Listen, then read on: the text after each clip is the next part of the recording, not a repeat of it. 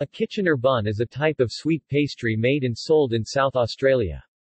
It consists of a bun sometimes baked, sometimes fried, made from a sweet yeasted dough similar to that used for making donuts, split and then filled with raspberry or strawberry jam and cream, most often with a dusting of sugar on the top.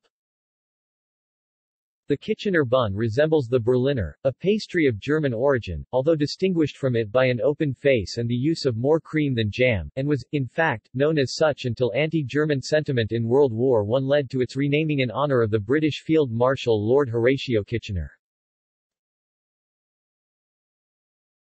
See also List of Australian place names changed from German names Berlin to Kitchener name change.